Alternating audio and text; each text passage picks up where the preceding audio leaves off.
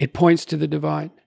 Yeah, and I would say again, by definition, because we could define the divine in some real sense. So, one way of defining the divine is what is divine to you is your most fundamental axiom. And you might say, well, I don't have a fundamental axiom. Then I would say, that's fine, but then you're just confused because you have a bunch of contradictory axioms. And you might say, well, I have no axioms at all. And then I'd say, well, you're just epistemologically ignorant beyond comprehension if you think that, because that's just not true at all.